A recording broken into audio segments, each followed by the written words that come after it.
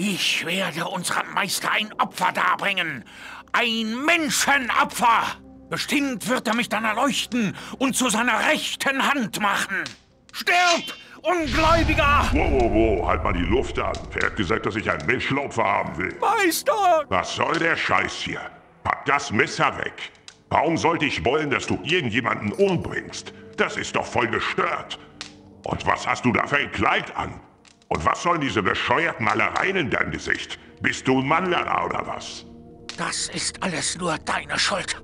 Deine unheilige Präsenz hat den allmächtigen Schläfer erzürnt. Jetzt halt doch mal den Sammel. Ich spreche immer noch für mich selbst. Und der Typ da ist allemal heiliger als du. Du bist einfach nur gestört.